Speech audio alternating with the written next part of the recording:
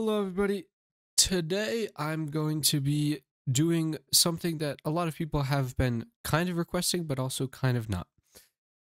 Here we have a 3x3 circle Stargate door with a layout that I've already made. As you maybe can tell from the title, people uh, probably have not requested this door. But a thing they might have been requesting is an instant 3x3. A layout for that door would look like this.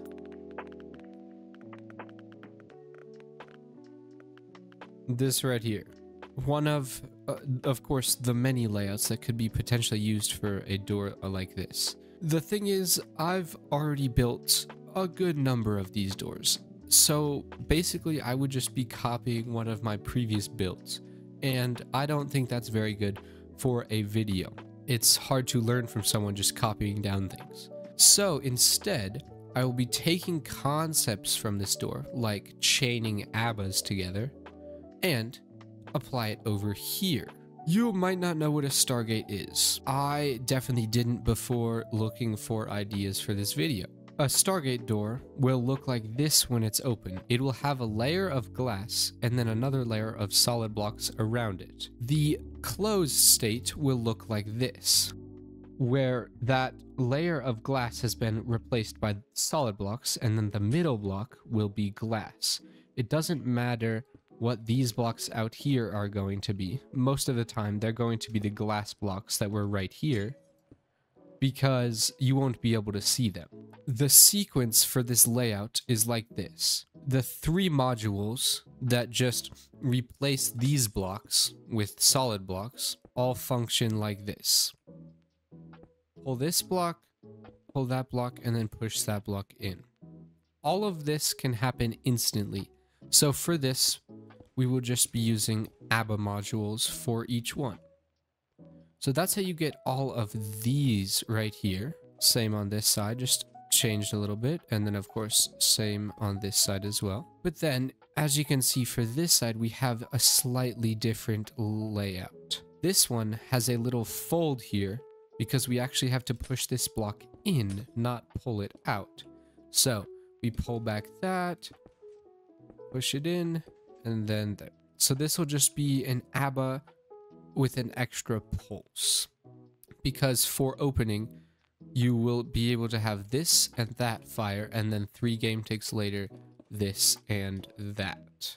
Now, I'm going to get started wiring up some potential inputs.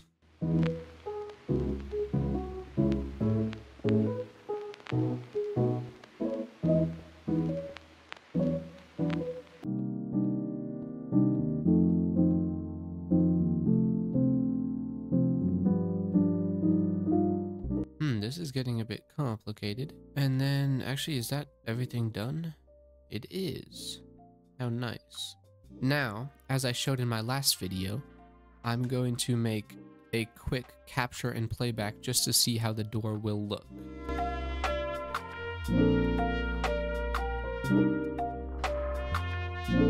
Wonderful. Now if I freeze the game, start the playback, we should see it all work.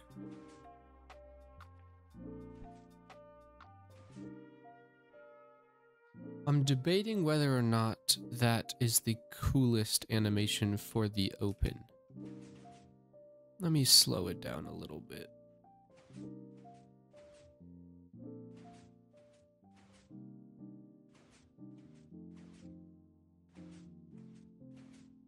Actually, that's technically just the seamless bit, so all of these can be moved up.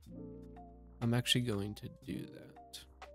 So now we should actually have the finished capture and playback.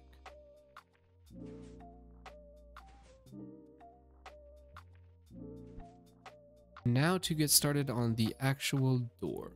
I think I'll start with this bottom one right here. Oh, and I actually forgot the last input.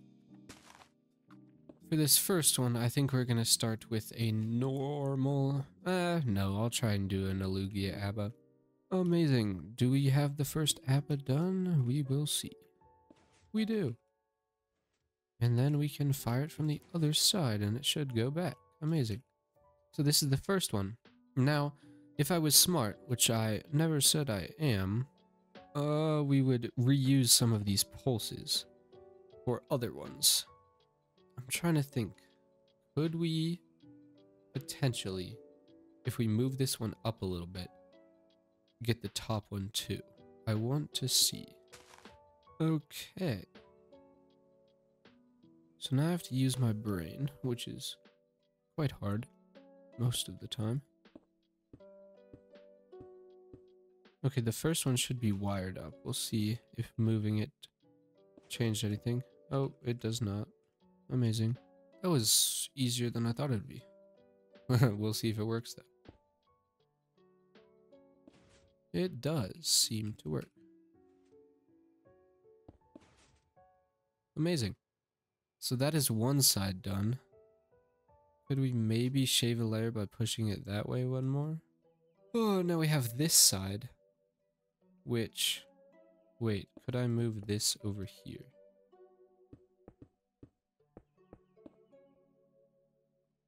Yes, and then change that to there. Oh, I'm gonna try and keep it four wide. We'll see if that pans out.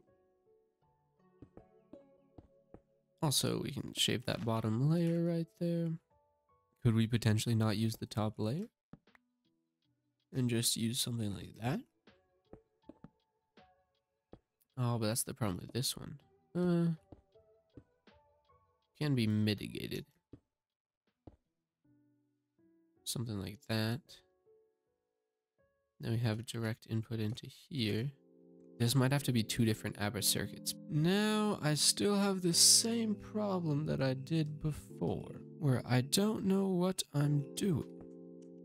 But that's okay. We basically all have to start somewhere. I think that is one of the biggest things with zero-tick projects, especially slightly larger ones like this. You have to start somewhere. Even if it's starting with the input, starting with the first piston, or starting with the first ABBA like I did. You have to start somewhere, right? And so somewhere is where I will start here. But I guess don't worry about the top until I have to? I love that strategy. We have to start with our A pulse, then A, B, A, B, C, D.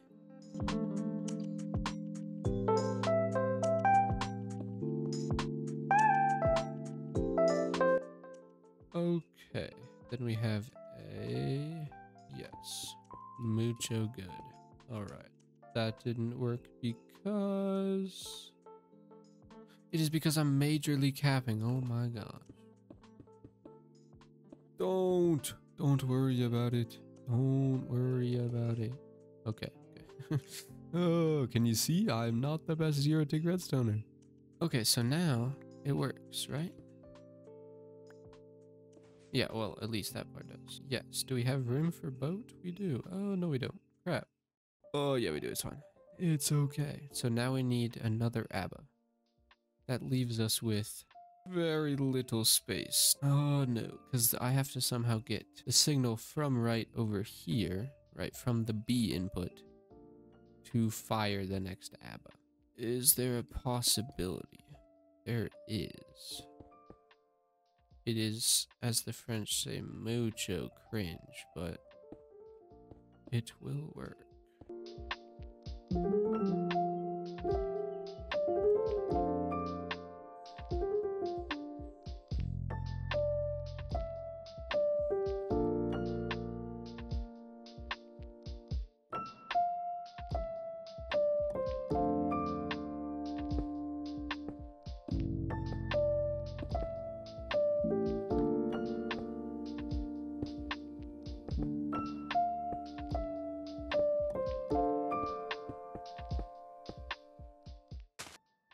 Get the close and then pulls it up. And then we get the open. And then this. And then pushes it back down. Now it's input time which i have an interesting idea for. Right here i have a horizontal zero tick dual edge which I think I will use.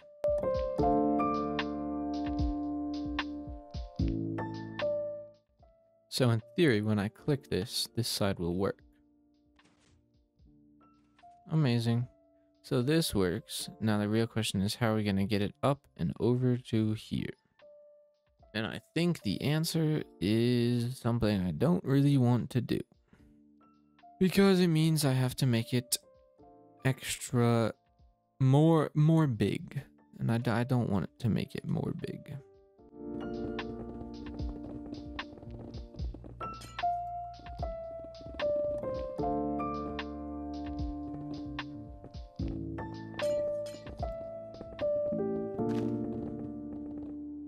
Technically, you don't even need that glass block there. Alrighty. Now, in theory, this should work. Right? Everything is set up to work. Yes. Okay. Oh my gosh. That is the first time the door has closed. That's crazy. And how am I powering this over here? oh my gosh. Ugh, but I've added already so many layers and look at this empty space. Hmm, I mean, I can do this, right?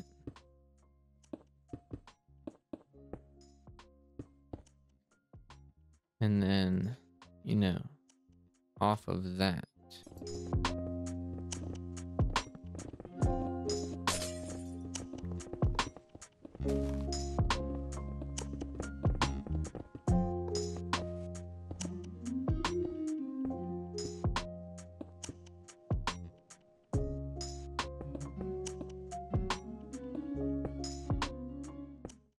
In theory, it should work.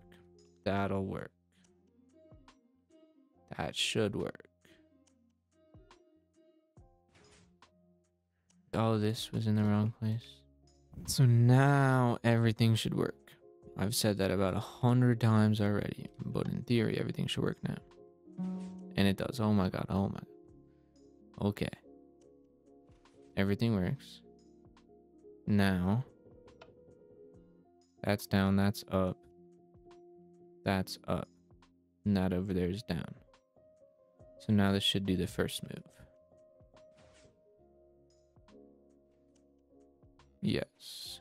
Now I just need to program the second move, which is just that. I feel like the easy option is this.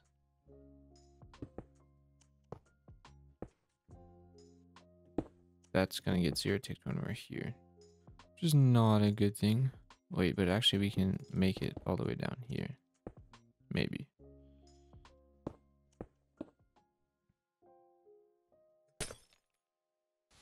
Not that.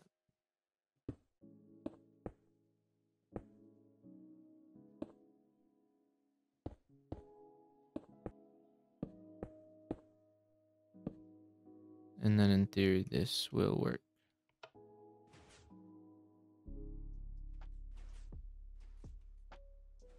Is everything reset and good?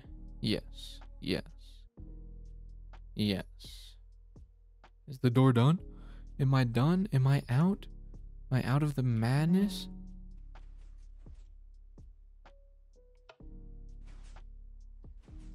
That's silly. It's not zero point. It's 0.3 close, just in general. Whatever, I'm done, I'm done, I'm out of here. Should I add boat? I'm going to add boat real quick and then I'll be right back.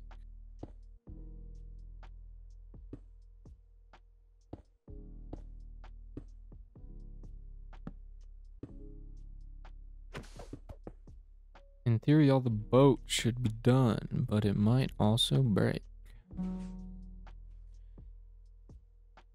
That's down, that's down. That's down. Sick.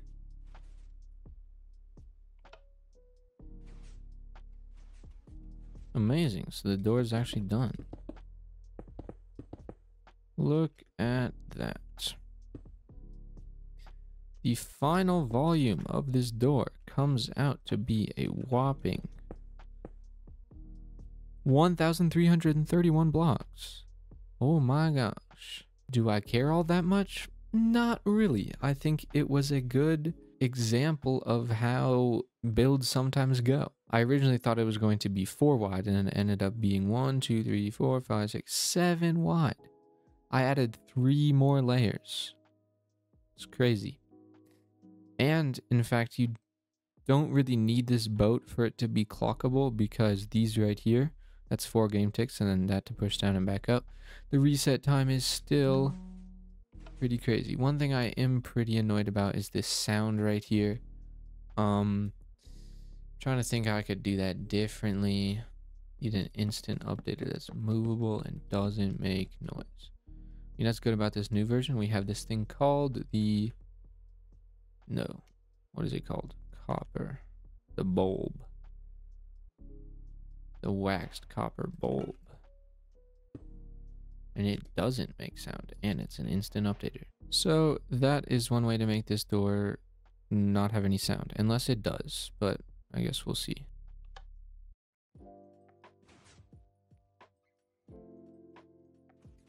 Oh yeah, that actually has the longest reset, I do believe.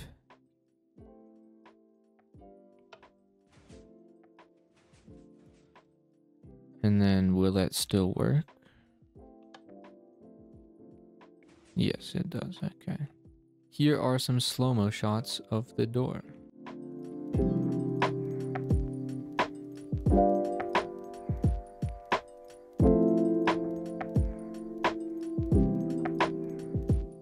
And here's the door in real time. Quite a cool little door. I hope you enjoyed this video. Again, if you have any suggestions for videos or potential doors to make, leave them in the comments. Also, let me know if you like this new style of more complex doors that challenge me and challenge my video editing skills to cut it down into a memorable length that is not three hours long over three weeks. That's about all. I hope you have a great rest of your day. Bye bye.